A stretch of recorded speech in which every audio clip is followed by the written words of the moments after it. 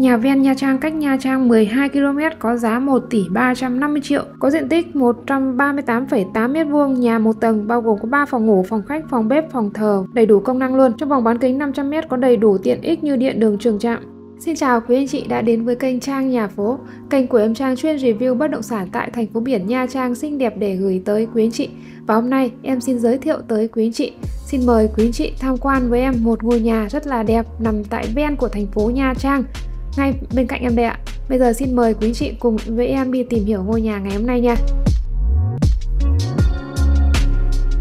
Đây là một ngôi nhà vừa mới xây xong nằm tại Diên Sơn, Diên Khánh của tỉnh Khánh Hòa. Từ vị trí ngôi nhà mà đi vào trong trung tâm của thành phố Nha Trang tầm khoảng 12 km nha quý anh chị. Đấy, ngôi nhà có một khoảng sân khá là rộng ở phía trước đây. Và phía bên trong thì ngôi nhà cũng được thiết kế đầy đủ các cái phòng đầy đủ công năng luôn. Với một cái diện tích là 138,8 m2 trong đó thì có 100 m2 thổ cư. Và có chiều ngang là 5 m và chiều dài là 25 m nở hậu về phía sau là tầm 6 m nha quý anh chị. Đây là khu vực không phong gian phòng thờ được thiết kế ngay đầu tiên lối bước vào ngôi nhà. Tiếp theo đây là khu vực của không gian phòng khách. Thì chủ nhà cũng đã à, gọi là làm sẵn những cái đường dây điện uh, trang trí uh, những cái tường thạch cao và về quý anh chị có thể trang trí lại các trang thiết bị nội thất rồi lắp thêm đèn điện để cho không gian thêm uh, gọi là đẹp hơn rất là nhiều luôn. Tiếp theo là không gian của phía bên trong. Bên trong này sẽ có 3 phòng ngủ nha quý anh chị. Đó chủ nhà đang sơn một cái sơn một cái tông màu màu trắng nhìn rất là sáng và nhìn khá là rộng không gian đúng không ạ?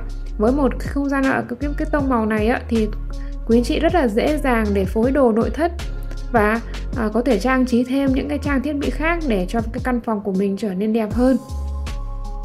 Đó ngôi nhà này thì nằm cách thành phố Nha Trang khoảng 12 km thôi và có một cái giá rất là tốt luôn chỉ có 1 tỷ 350 triệu cho một ngôi nhà vừa mới xây xong như thế này đây rất là đẹp phải không ạ? Đó phía bên trong này là có một nhà vệ sinh đầy đủ các trang thiết bị nhà vệ sinh luôn rồi. Và đây là khu vực của không gian bếp. Quý anh chị có thể lắp thêm tủ bếp trên nữa nha. Tiếp theo phía bên ngoài này à, quý anh chị có thể làm một mảnh vườn nhỏ đằng sau này nữa nha trồng các cái loại cây xanh ở phía ngoài này. Hoặc là có thể trồng rau chẳng hạn. Ngôi nhà thì cũng được thiết kế khá là đơn giản, không có cơ, không quá cầu kỳ, nhưng mà đầy đủ công năng luôn. Mỗi một phòng, đầy đủ các cái phòng như phòng bếp, phòng khách, phòng thờ, phòng ngủ, rồi phòng vệ sinh, đều nói chung là đầy đủ luôn, không thiếu thứ gì hết ấy. Với một, ba phòng ngủ như này thì sẽ phù hợp với gia đình tầm khoảng 4 đến 5 thành viên. Đó phòng khách không gian phòng khách phía ngoài rất là rộng luôn.